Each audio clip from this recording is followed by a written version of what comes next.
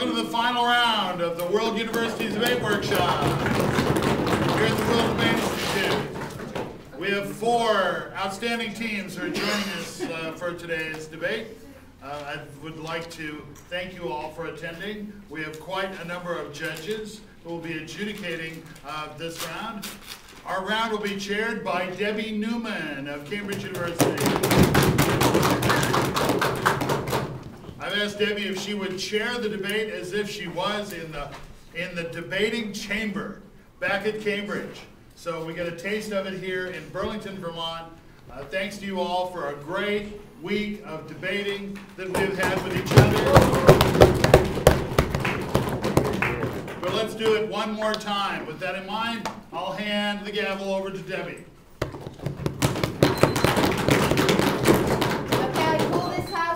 Order. Welcome to this debate on the motion, this House would place security cameras in public areas of city centres. on the first proposition team today, we have Emily and Ethan, and on the second proposition team, we have Josh and Kelly. Please welcome them. Oh, sorry, Josh and uh, uh, Mandy, sorry. Please welcome. On the opposition team today, we have Rich and Garrett speaking for the first opposition team, and Darius and Scott speaking for the second opposition team. Please welcome them. Speeches today will be of seven minutes in length with the first and last minute protected from points of information.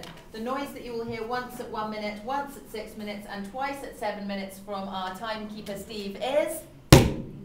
Okay, um, and if there are no further questions at this time, it gives me great pleasure to recognise Emily to propose the motion that stands in her name.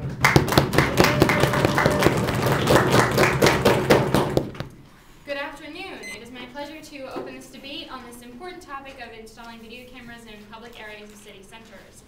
I'd like to begin by uh, defining the motion we are going to define video cameras, basically as you all think of them, surveillance devices that record, monitor, um, pretty much a given.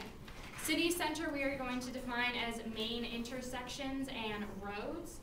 Um, these, um, and now I'm going to move on to our plan and then continue on to our, my two points, one of which is that a government has an obligation to protect its people, the second of which is safety starting out um, with our plan. The plan is to install video surveillance units at major intersections. At each of these intersections, there will be two cameras, one of which will be surveilling speeding, will be surveilling the traffic that is going through said intersection, the second of which will be doing a sweep of the block that it is on to watch for pedestrian crimes. Um, not at this time, sir. Um, Within my, my own city, we have a blue light system. Under each blue light, there is a camera that sweeps the, the street that it is on. This is in Baltimore, Maryland. The, it, creates, it creates surveillance that the police can, can look to in case in the issue of a crime so that they can see who may be perpetrating said crime once it has been reported. And if it isn't reported, they can see that it is still going on. It will, for those people who are afraid to go to the police because they are afraid of being looked, no thank you sir, being looked down on or accused of something um, that are, let's say a woman is raped off and she feels that it is her fault, that she feels ashamed because she wasn't strong enough to protect herself. The police will be able to see this crime going on. They will see that this is happening. They can perhaps locate her, go to her, say, you know, you shouldn't be ashamed about this. They can take action to stop said crimes.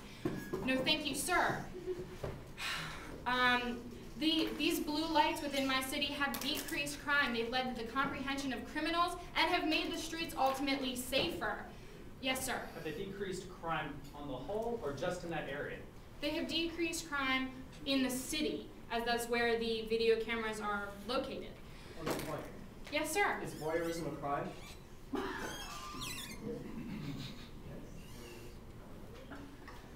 I'm not sure. I guess it would be, but uh, it would depend on what you what you mean by voyeurism.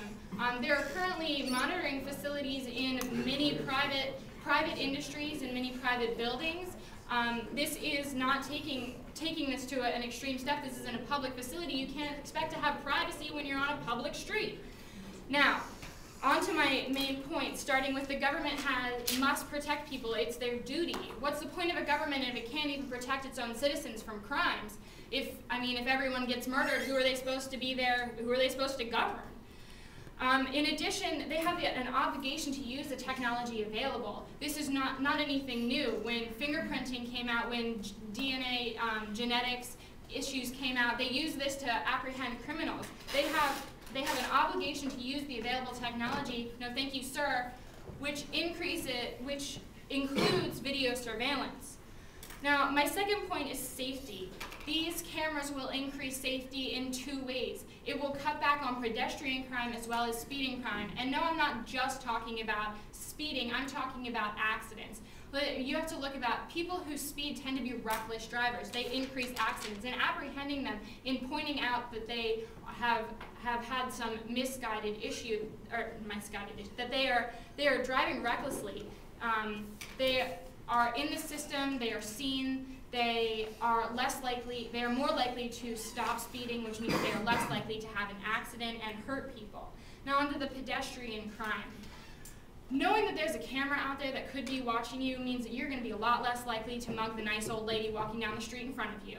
Quite frankly, if there's a higher chance, no thank you sir, that you're going to be caught, you are less likely to commit that crime you're less likely to do that on a public street, which increases safety for you know, the old ladies, the young women, the young men walking down that street going home from a club late at night. It's going to increase safety for the pedestrian. Yes, sir. So you're talking about the little old lady walking down the street. Does that mean that you're trying to categorize people and viewing some under different suspicion than others? I'm not looking at anyone under a different suspicion. I'm simply stating that little old women are easier targets for people to harm than it is a jacked up man of 25. Change.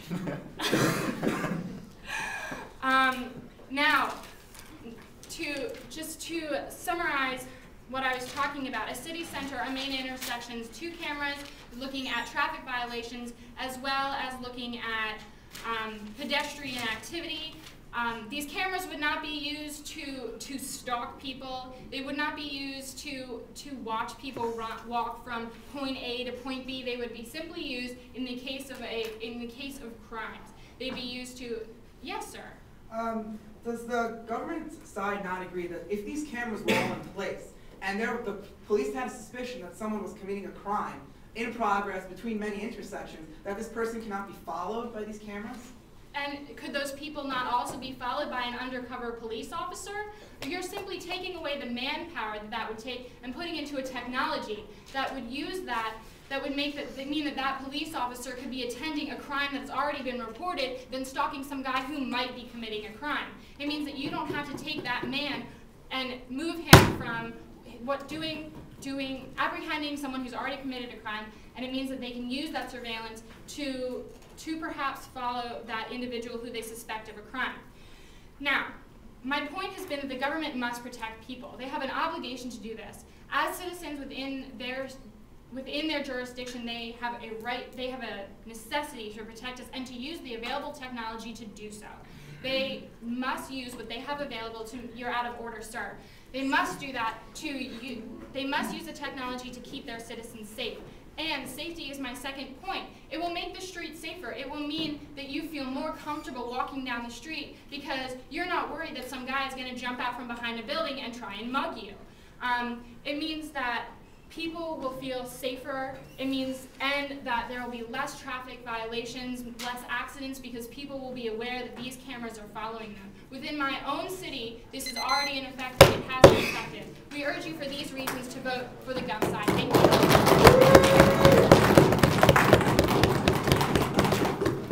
I thank Emily very much indeed for her speech. Um, I respectfully ask the audience to make sure they keep um, their voices down um, while the speeches are going on. And it gives me great pleasure to recognise Rich to open the case for the opposition.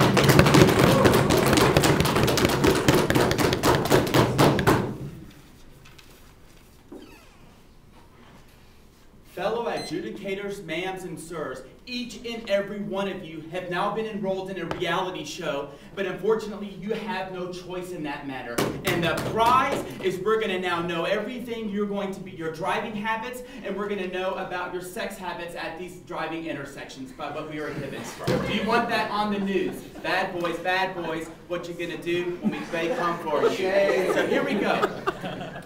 Now, there are some serious issues, and I have three of them, but I'm, and we'll refute. But we're going to talk. Number one, with this plan, is that crime will shift. Number two is, is there will be a complete loss of privacy. And number three, we're going to talk about money. Police, they're the most uh, most outstanding people to do this, and we're going to show how the police are actually corrupt and do, we're willing to, to monitor this. But let's go down to city centers. She defines city centers as just main intersections on the road.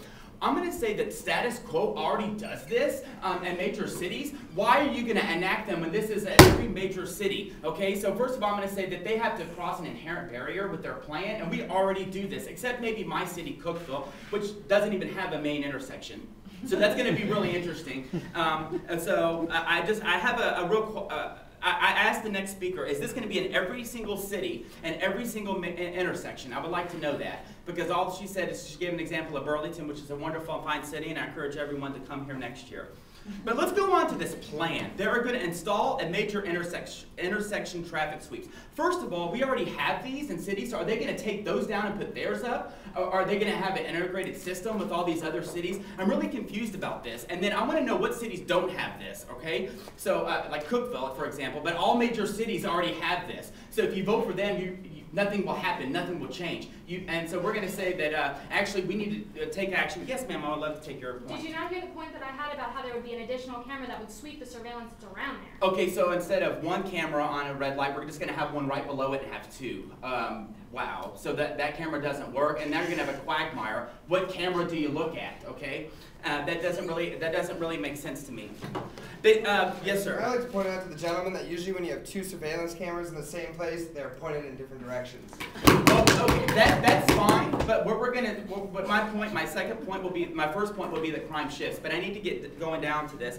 And then they say criminal in the cities. Okay, how many people are committing crimes at the city intersections versus the whole city? I would like a number, okay? And then number two, if you get in a wreck in your car, obviously you're not just gonna walk up in the middle of an intersection by yourself. You're gonna be in an automobile, and we have enforcement for this already.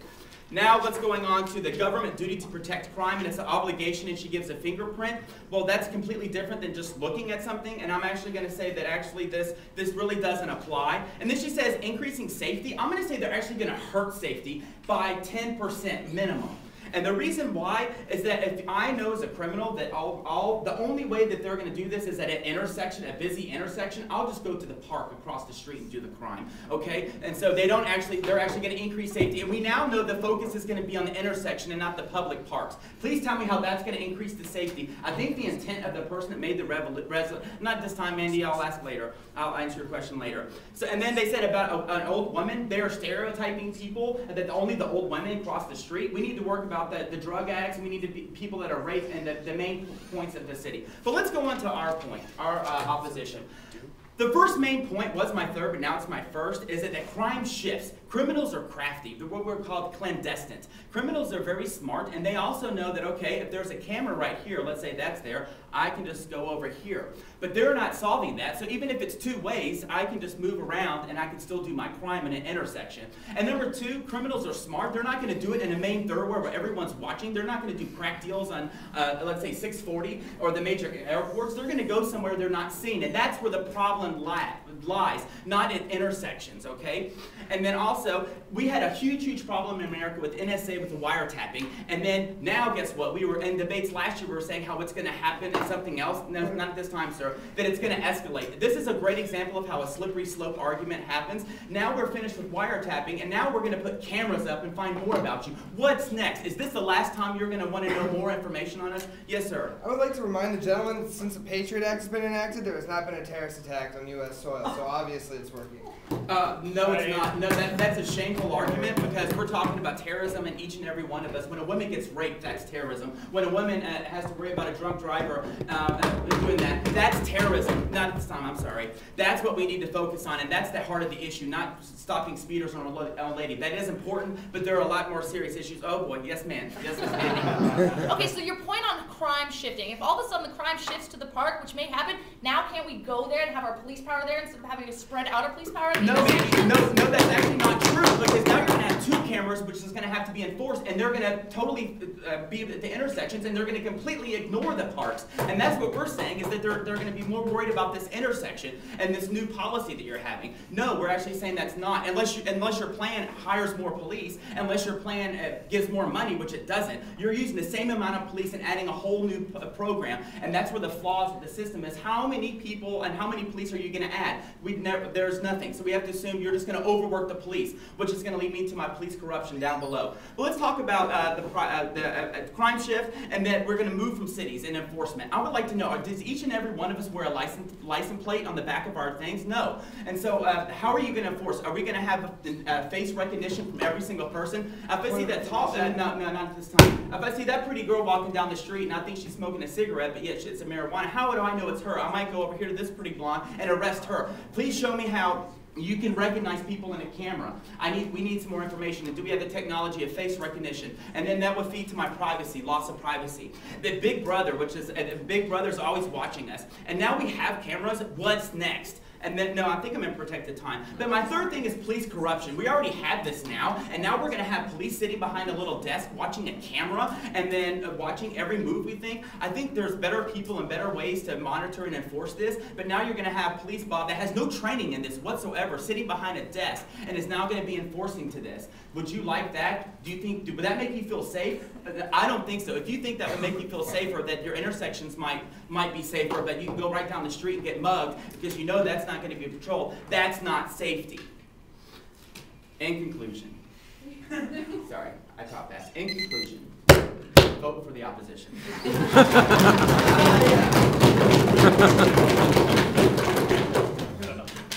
I thank Rich very much indeed for his speech, and it's with great pleasure that I recognise Ethan to continue the case for the proposition.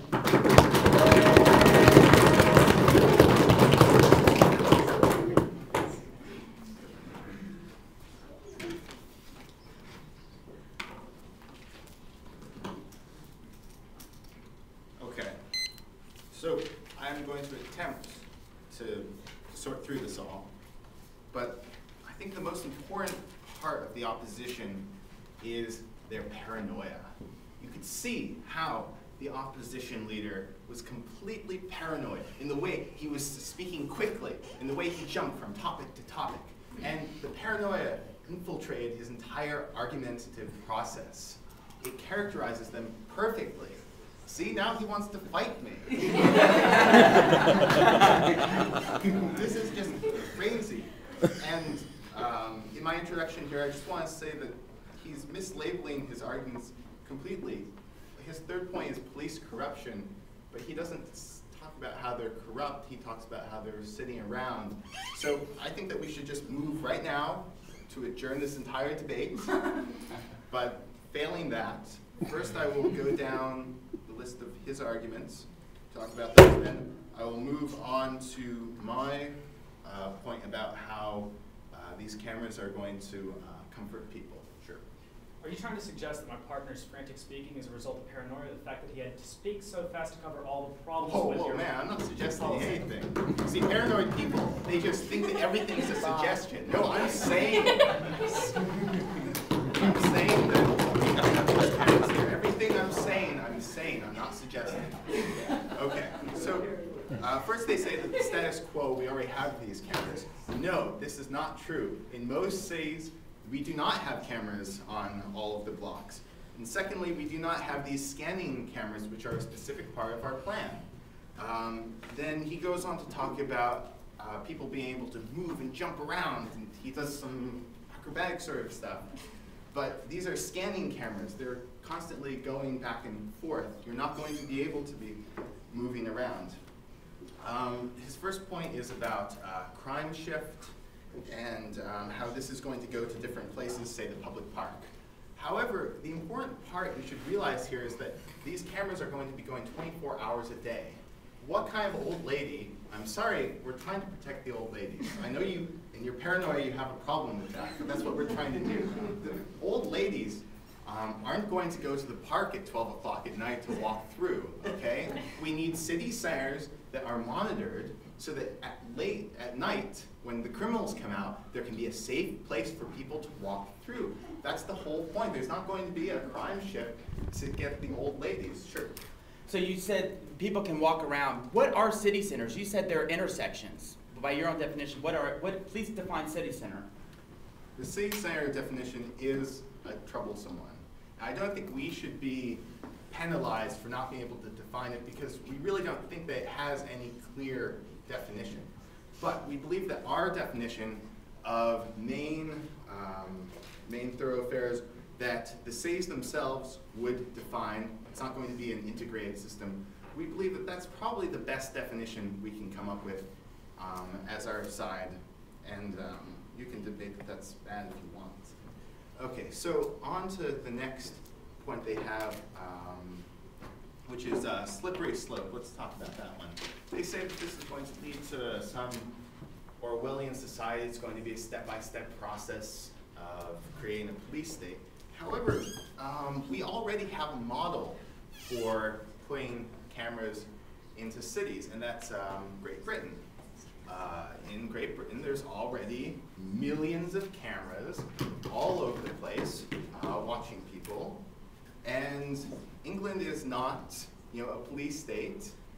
People still live their lives. They have freedom.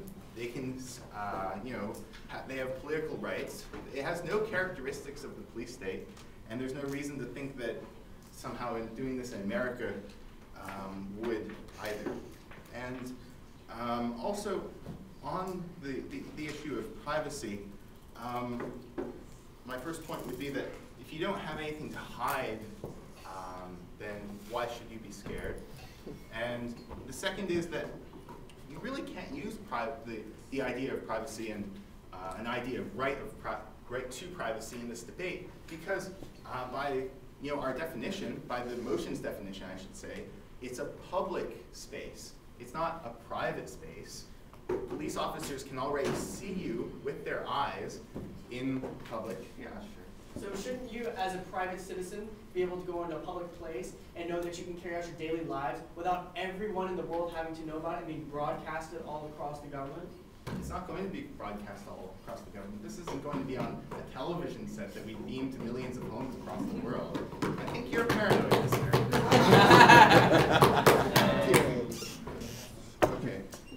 And um, on their point about um, this will deter the, um, this will reroute um, the capabilities of the police and it'll, it'll take away from their capability. Um, there's not going to be a police officer sitting behind watching every camera. The point is that it's going to work, um, you know, in the in the future to look at past events. Say if there was a crime committed yesterday, then today you can go back and look at that crime. There's not going to be any face recognition software. Um, I, don't, I, don't, think we really even have that yet. That's not that's not an issue. Um, uh, if someone's a known criminal and they've been known to commit this sort of crime or that sort of crime, then it'll be much easier for the police to investigate this and to bring it to some sort of resolution. Um,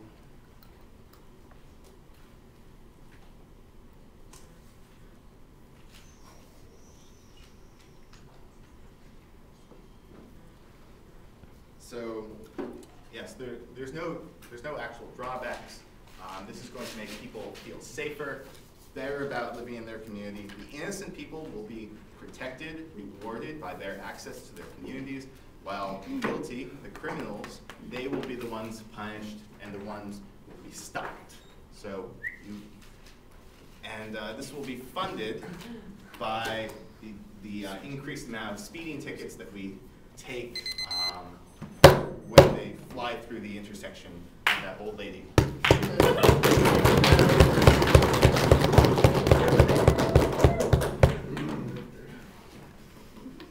I thank the speaker very much indeed. and it gives me great pleasure to call upon, in fact he's there already, and to continue the case for the opposition, Garrett. I'm very disappointed that the government spent more of their time attacking our demeanor and calling us paranoiacs instead of focusing on our argumentation and the flaws inherent in their plan. So going down this list, I'm going to go ahead and go ahead and reemphasize a little bit of what Rich has said, offer a little bit of refutation as, uh, off of what they've said, and really explain the deep, dark implications of their plan. Now, to expand off of what Rich said, when he meant there was a crime shift and that criminals are clandestine, perhaps he was suggesting that by merely only putting your cameras within public areas in the city centers, that not only will criminals become more crafty as to where and how they commit their crimes, but that they aren't actually going to no longer commit crime. They're just going to move to the area where there is no longer a camera. And that's really the issue we're trying to focus on here is you're not solving the crime issue. When I asked the government, is this going to stop crime outright, lower the percentages, or is it just going to move where the crime happens? The answer was, I don't know. Now that's a really big issue because, sit down. The whole reason why they're installing these cameras in the first place is to have a detrimental effect on crime. But the fact that they cannot even tell me whether or not this is going to stop crime, they're giving me a lot of what ifs. They're just saying, well, perhaps it'll be moved. I don't know. Perhaps it'll be stopped. Maybe. It's really, point, really shameful. I'm still talking. It's really, really shameful that they cannot give us a straight answer on this, that they're just suggesting that perhaps crime will stop, but they failed to answer my partner's point. Is it going to just shift? Yes. Are you suggesting that we should put more cameras elsewhere? Aren't you, isn't one of your main arguments that we shouldn't have, argu- shouldn't have cameras? Hardly, and I'm going to get to that in a minute as to the severe moral implications of your policy. All right, going on further. You said this is going to result in safer pedestrian areas and safer speeding areas. The intersections already serve to protect these people. That's why there's stoplights there. That's why there's already a police presence there. That's why already many city centers have cameras. So we haven't really seen a severe impact of your plan. We haven't really seen a noticeable change. We haven't seen a measurable change. We haven't seen really anything that comes to benefit of this, except perhaps that you're allowing these criminals to become more craftier in their ways that they're evading surveillance. Now, I'm going to move on to what we were talking about earlier about the dangers of this police state mentality, which he said we're going to be a little paranoid about. Well, the thing is, is yes, other places have uh, installed these things and other places have used them correctly, but we are living within a culture that has abused the powers that the people have given to the government. We gave the government powers to assist in these terrorist attacks. We gave the government the ability to make us safer, and what did they do with it? They went too far with it.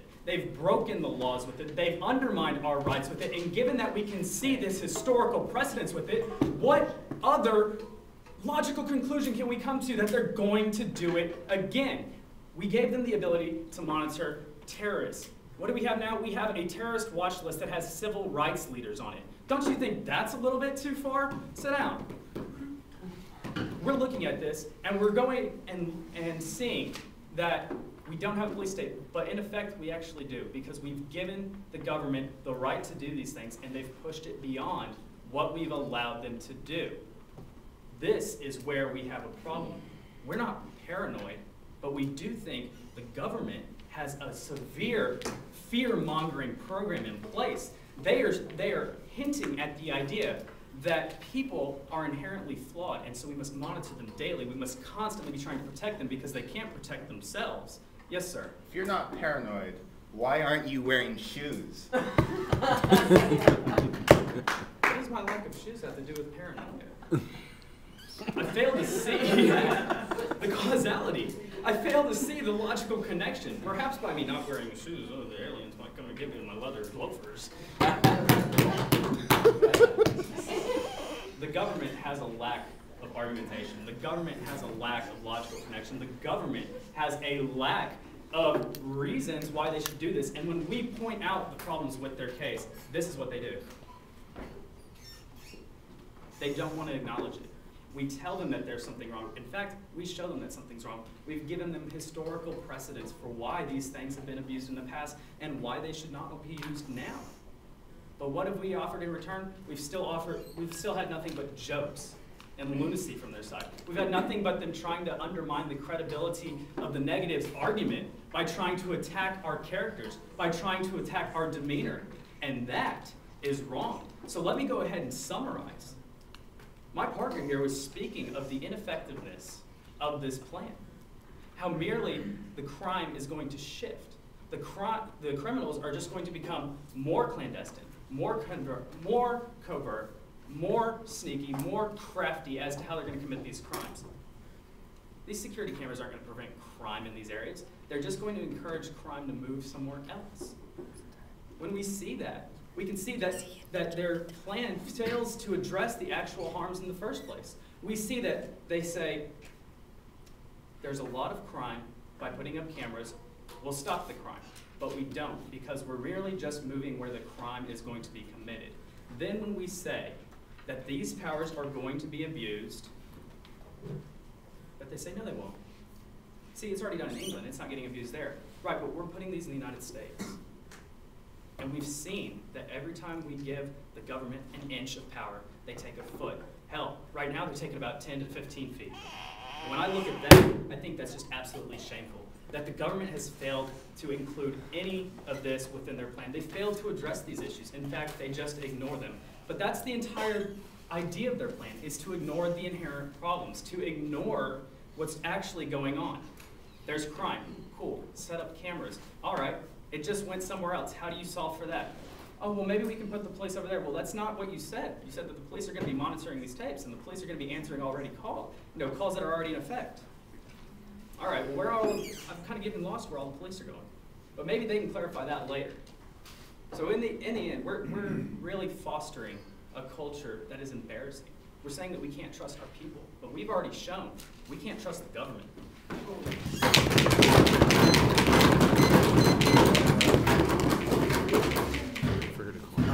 I thank Garrett very much indeed for that speech, and we now move um, down to the second half of the table, and it gives me great pleasure to recognise the next speaker on the proposition, Josh. Thank you.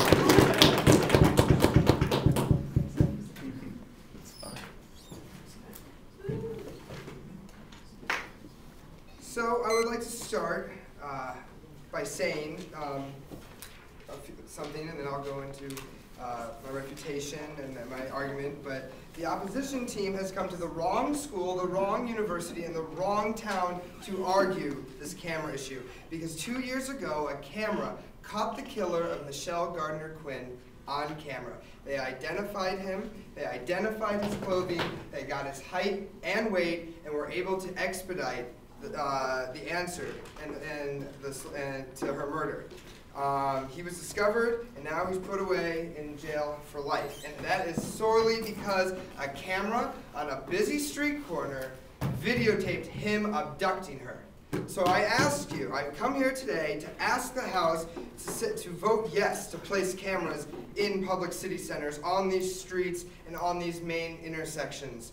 Uh, now I'll go into my refutation. Uh, I'm very, no sir, I'm a little troubled by what the opposition has said, and I will continue on this path of labeling them as paranoid because they are. Uh, one of them stood up here and said, well, we don't walk around with IDs taped to our back. Well, what about your ID card? You have a serial number on that ID card that identifies you. You get into your, your, your moving vehicle, which has a license plate. So, yes, you are tracked by the government and you are watched by the government. So, yes, it is the government's duty to protect us from ourselves. They're, uh, to ensure, no, sir, they're they are here to ensure um, that people are being effective members of their society um, and to watch out for us. Um, so I don't know where your figures is about reducing crime rate without cameras by 10%, like you said before, but I think your figures are a little out of whack. And then the gentleman who stood here before said, oh, well, in England it works, it works, it works. Well, Yes, that's what we're trying to say here. And God forbid America takes a lesson from Europe here. I mean, they're in an economic growth. Their architecture is amazing. They continue growing. They have vast tourism. Their crime rate is very low, and they're on the euro. So, you know, God forbid, sir, that we take a, a lesson from from Europe. So, now, no, sir, sit down, please. Now, I would like to go into something that hasn't been addressed at all in this debate. Cameras can also prove your innocence. They can work both ways. Did you all know that? They can prove your innocence. Uh, today, I woke up as I always do and I turned on CNN. First thing I saw on CNN was that yesterday in New York City, a man, uh, an African American male, about 25 years old, was walking down the street, iPod. You know, he was jiving and dancing a little bit, but to the cops, who socially profiled the man, they thought he was drunk and a disturbance to the public. So you know what they did? They came over, two of them with their nightsticks, and beat this man. He is now in the hospital in critical condition.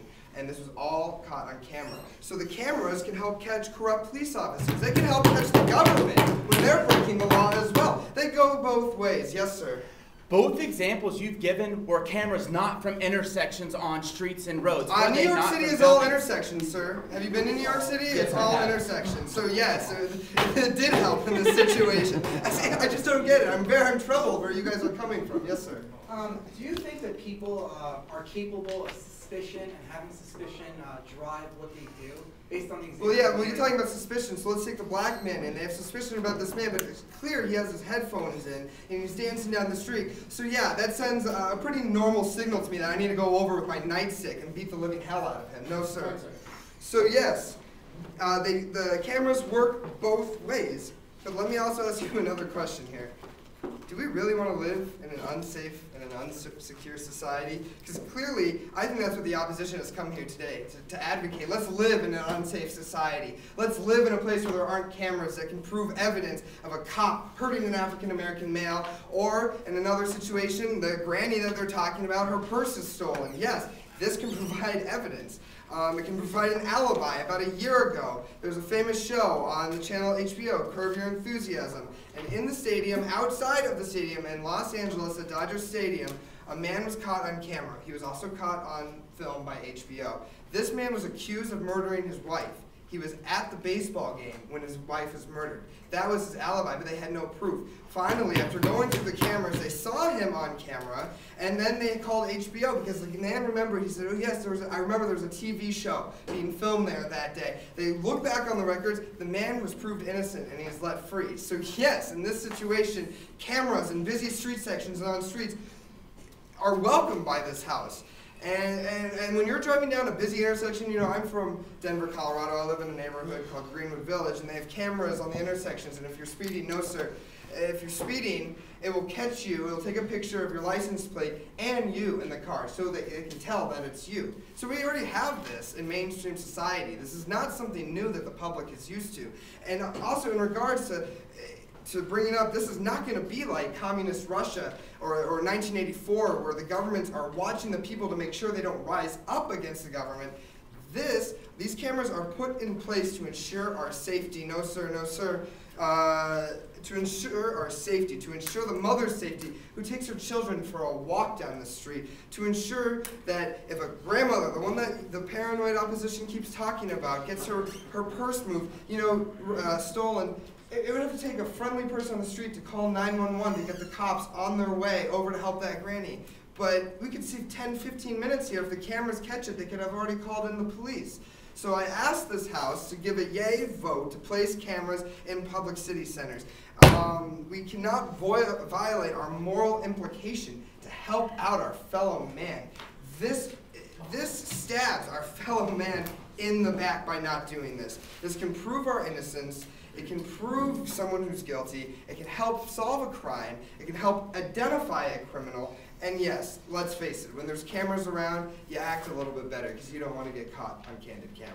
So this House, please give a yay vote to putting cameras on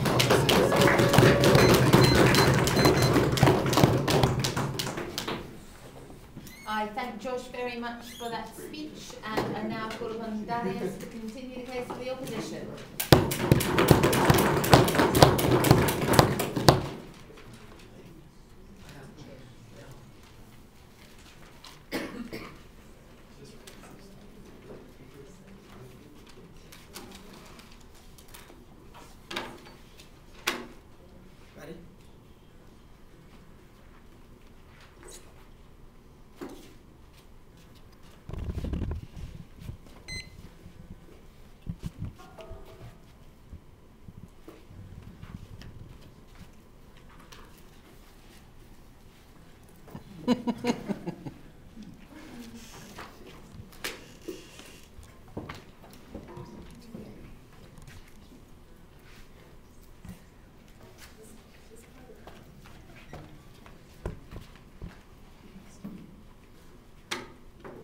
Think there's nobody watching. But there's always someone watching. Maybe you're thinking, I've got nothing to hide. I'm a good person. I don't commit crimes.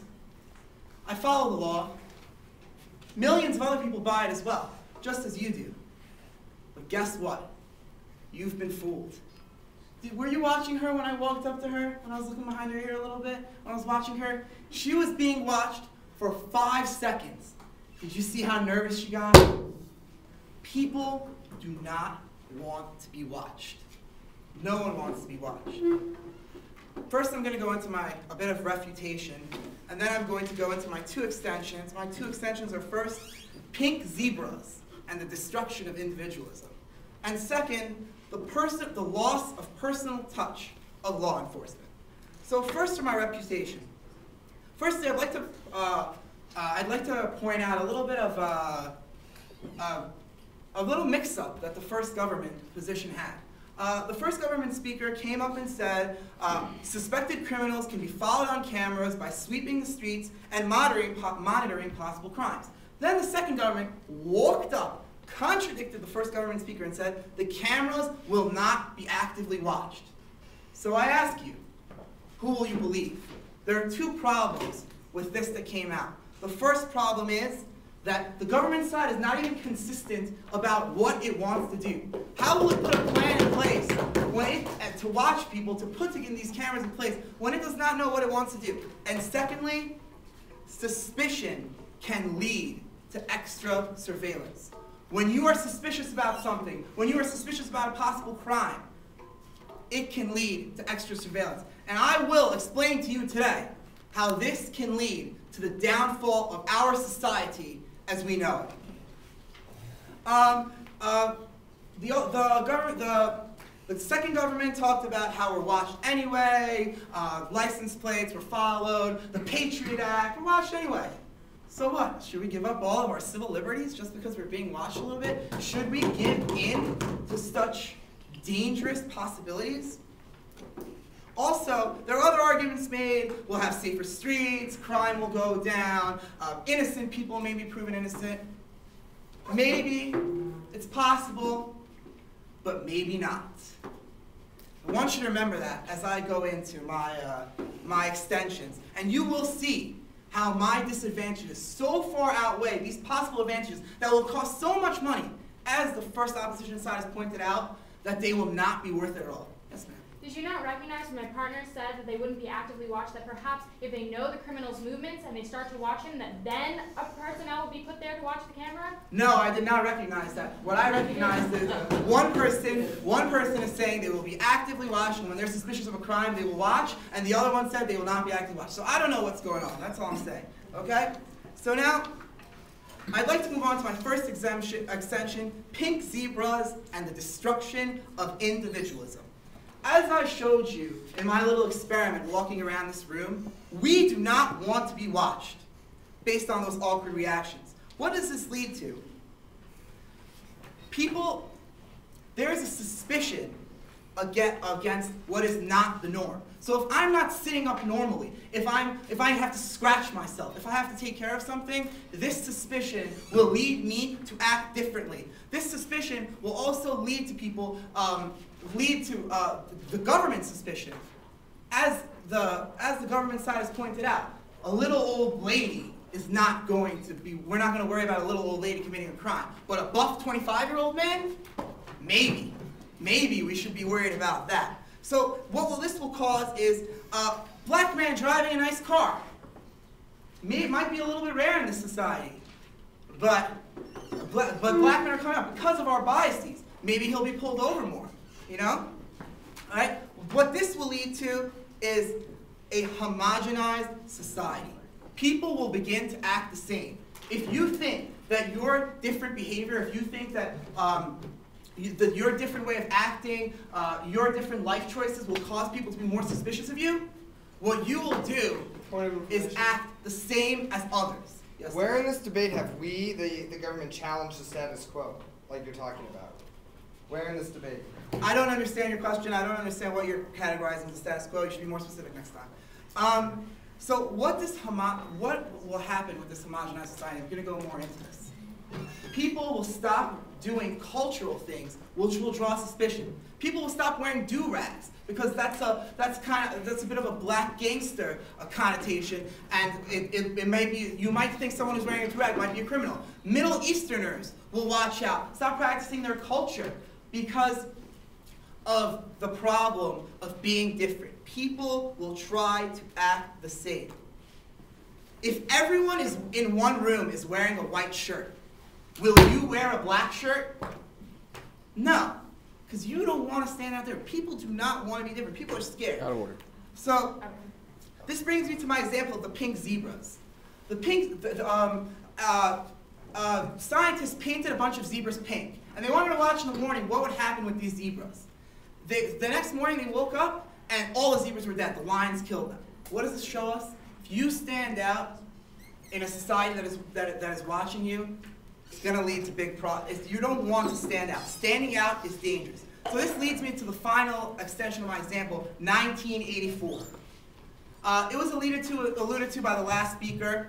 If we all act by societal norms, if we're scared to go away from societal norms, that will mean that we are all going to try to act the same. And who sets our societal norms? The government. So when the government decides that this is what we, this is how people should act, this is how people should act, by outlawing prostitution, they're saying prostitution is wrong. By outlawing sm smoking in bars, they're saying that smoking is bad for you. If the government decides they can set your societal norms, the danger of that is a homogenized society, and that's why I say we should reject.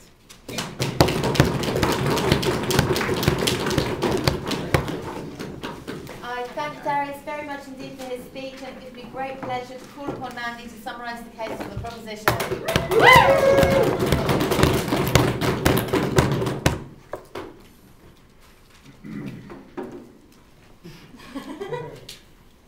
There's been very few times in my debate career where I'm excited to speak after a speaker, but this happens to be one of those times. Because that speech was so ludicrous and so outlandish that this is actually going to be entertaining for me and hopefully for you for respond. First of all, I'm going to do a little bit of refutation, and then I'm going to get into the big, basic questions of this debate. How I'm going to boil this down is in three ways. The first of which, the distinction between the public and private sphere. The second way, the role of the government and the boundaries of. And the third way, the effectiveness of this as a tool for protection. So first of all, I'll do a little bit of refutation.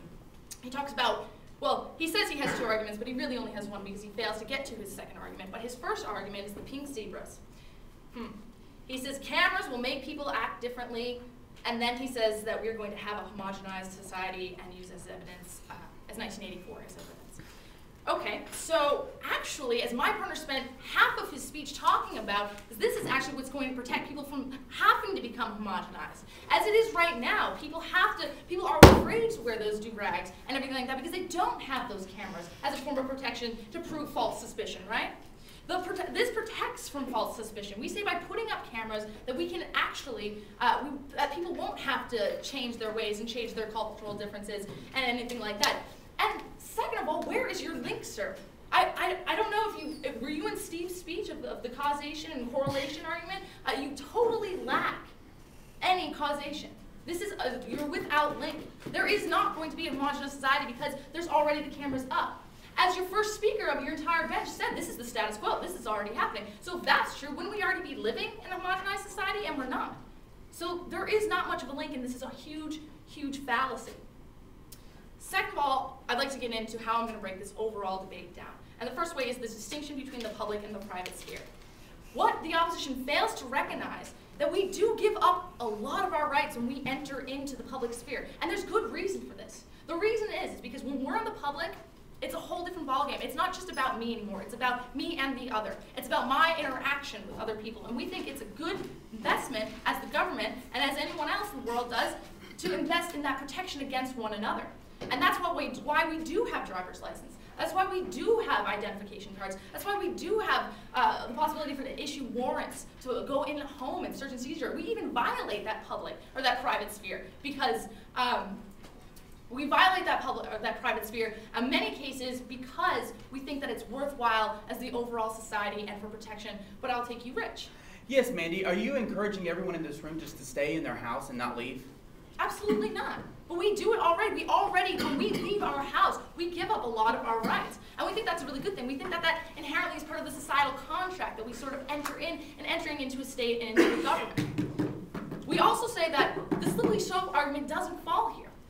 Right? I mean, one of the first arguments that the opposition bench made was the fact that, oh, we're putting up cameras on the streets. Oh my God, now we're going to put up cameras everywhere and yada, yada, yada. But then their other argument, which I think Emily tried to point this out on point of information, was this crime shift, right? This is an internal contradiction of their point. They're saying, oh, well, you know, now the crime is going to move to the parks.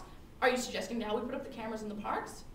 No, we are recognizing on, on the government bench a balance, a compromise between that role. We do recognize that, that people don't want to be watched all the time, as Darius pointed out, but we also think that it's important to watch those people so we can prove the innocence or guilty when crime is involved, and that's what we do every day as a government, and we think that's a pretty darn important thing. Second of all, the role of the government, right? What is the role of the government? Its purpose is to protect people. And sometimes we do have to step outside of what we would consider the norm uh, of boundaries. We do have to recognize that the government does have, it has to overstep you know, what we would consider normal. You know, with the, uh, with, in the case of 9-11, this came up in at one point during the debate with the, with the Patriot Act, right? A situation arose, and we had to react as a government. And we think actually the possibility of a government being able to react to that situation and overstep its boundaries is a good thing. And we don't want to limit that possibility. We don't want to take that away from our government. We do want our government to respond to exactly what's going on in society and, and solve the problems in that way, Darius. Don't you think that uh, suspicion can be a problem, like with regards to the Patriot Act, whatever? For example, I go to an airport and I am always taken into airport security because of the color of my skin and the way I look. Okay, I understand your suspicion argument, and this is actually a great segue into my third point, the effectiveness of this as a tool of protection. Now, my partner's entire extension was based on the fact that this is not only going to protect the guilty from, or rather, convict the guilty of crime, but this is going to protect the innocent. Now we say if you go into an airport, we'll use your example, although we're not talking about airports, we are still talking about main intersections, but say we were, for instance, say we were talking about airports. If you go into an airport and you are unjustly always brought into security, you can use some film footage from these cameras that we would put up and say, look, this is always happening to me. This is a tool for you now. This is a tool for the judge. This is a tool for the impoverished. This is the, a tool for the disenfranchised, the people, as my partner used the example, the man who did nothing wrong and was let off because he did nothing wrong, because it was on film. So we think that this is really important. So how is this going to serve as a tool of effectiveness? Now, well, a lot of the argument throughout the opposition bench was that this is not going to be effective at all because crime will shift and the cameras just cannot simply cover enough. But we say that's not enough reason to reject the plan. Yes, you're right, this isn't going to stop every single crime everywhere in the world, but it's going to do something. And that's why people across the United States and across the world, such as in England, have put in these video cameras because they recognize that this is a good decision that does have the possibility to solve crime. No, thank you. And we think that um, is this that there's just simply that the opposition bench just doesn't give you enough reason not to do this. The, uh, we've made it explicitly clear that we're not violating your rights, and uh, we've also made it explicitly clear that when you're in the public sphere, it's a whole different ballgame anyway. And we've also said that even if there's a 1% chance that we stop a crime, that we solve a rape case, that we get off a man who is innocent, then that's enough reason to do it. Because they just haven't given enough. The fact that it might not work is not enough reason to do it because we say that it's always a reason to try. And that's what we're trying to do on the government event. We are trying. And the opposition has tried and failed to prove why that's not worth it.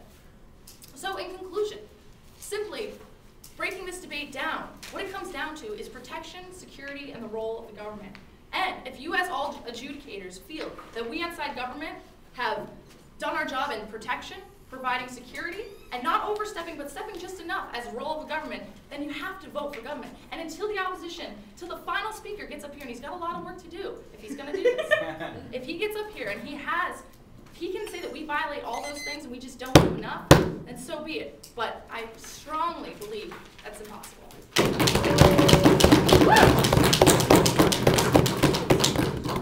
I thank Mandy for her speech and it gives me great pleasure to recognise Scott to sum up the case for the opposition and the whole debate.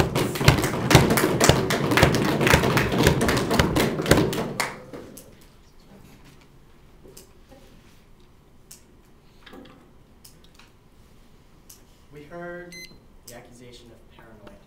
But what is paranoia if you cannot trust your people and your society? And cameras must be placed every city on every intersection.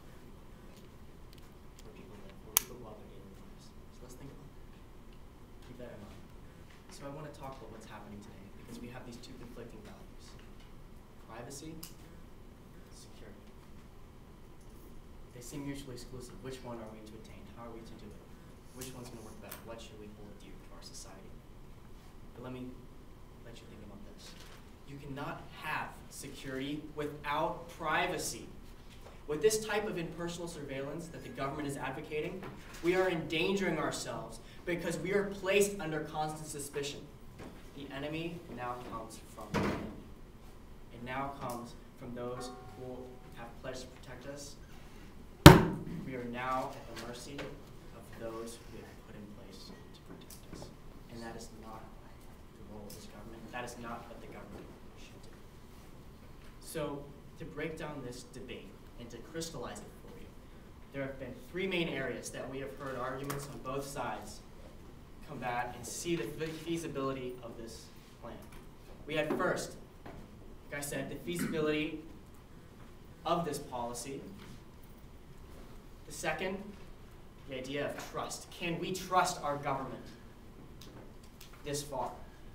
And third, we have the homogenization of our culture, of our society, and pink zebras. Yes. Haven't we shown that these cameras can also hold the government liable for when they break the law? That brings up a great point, which I was going to make later. But should we be placing these corrupt police officers in uh, control of our cameras? Say they were caught by them, but there's nothing to fix the corruption in our system. So we're now going to give them more power and let them sit behind the cameras where they cannot be overtly seen on the streets. No, thank you. So first we heard about feasibility, and we had these feasibility arguments. And we talked about how the plan is not inherent from the first government, which brilliantly points out the fact that it's already happening, but they're just looking to reassert that this idea might help in some way more. We also talked about how crime will move.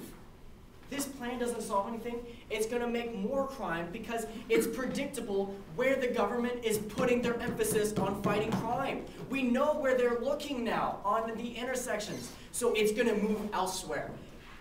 We can dodge the cameras, but we can't dodge a man on the street who's walking around, who can see people's faces, hear what's going on, know what's happening, look into people's eyes face to face, and be able to judge what is truly going on. Yes, I'll take it. And who's to say that an officer's patrols would instead have instead of having to spread out over a large area, would then could focus on the areas that aren't covered by these? That there would be more men in those areas where these crimes would shift.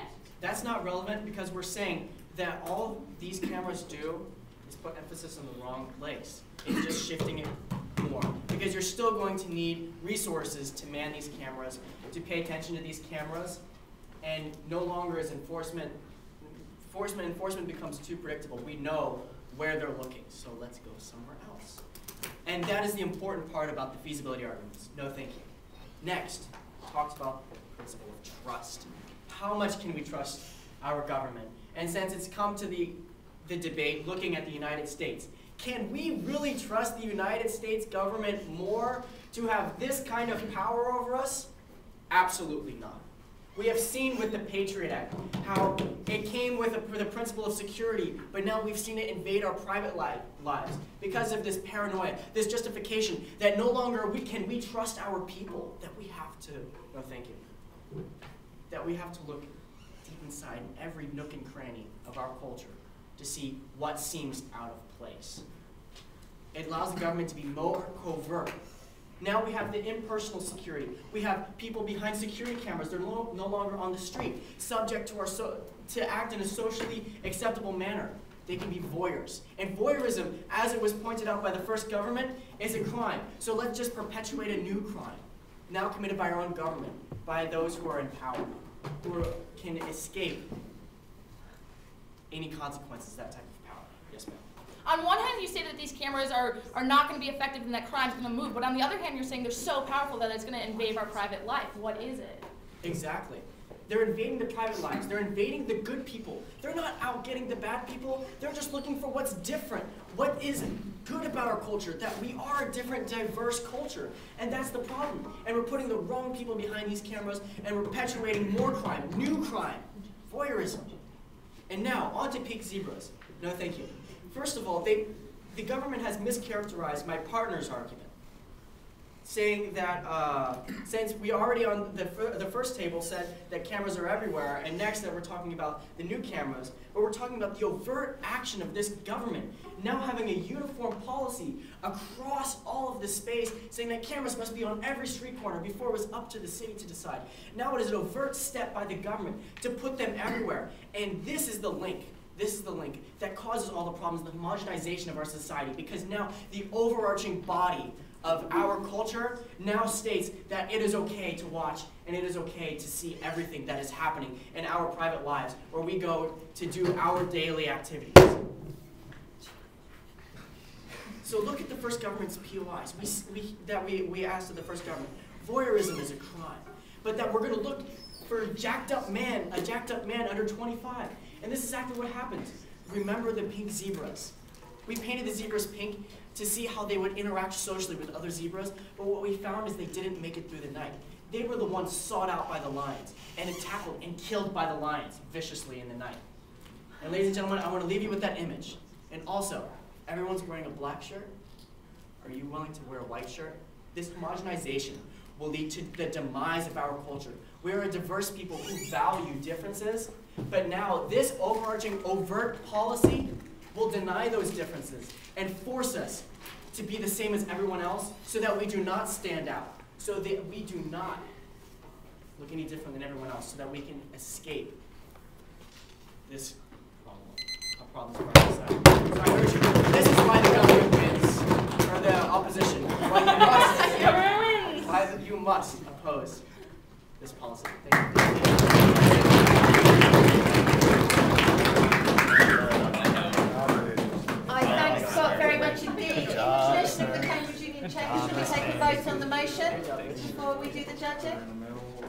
I'm going to call before I make a decision about which team you think won the debate, uh, which is a decision about, as we said, the kind of quality of argument. Let's actually have a vote on the motion on whether or not you do or don't believe that we should have security cameras um, in city centres and the public areas of city centres. Okay, what I'm going to do is I'm going to ask those of you who support the motion to say aye and those who uh, uh, reject the motion to say nay. Okay, so firstly, those who agree with the proposition that we should introduce and place cameras, security cameras into public areas of city centres, please say aye. Aye. And those who agree with the opposition that we should not say nay. No. Oh, okay, I can't tell by that, so I'm going to need to do a count by ha- um, show of hands. Um, at this point, it would actually be a division through the lobbies if you can't tell by acclamation. Uh, but if we don't have any lobbies, we'll do hands. So could you put your hands up, please, if you support the proposition?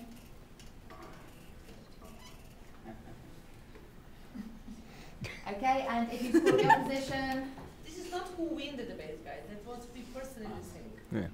Just the nominal name. Okay, so on the issue of the motion, not on who won the debate, but on the issue of the motion, this motion is defeated. This House does not believe that we should have security count, uh, By cameras 10 in to place. 11. Just, just to Now you do the judging. Okay, but yeah, now what we're going to ask you to do is to fill in your ballot. You're now not thinking about your own opinions on this issue. We're now asking you to think about who you think came first, second, third, and fourth in the debate based on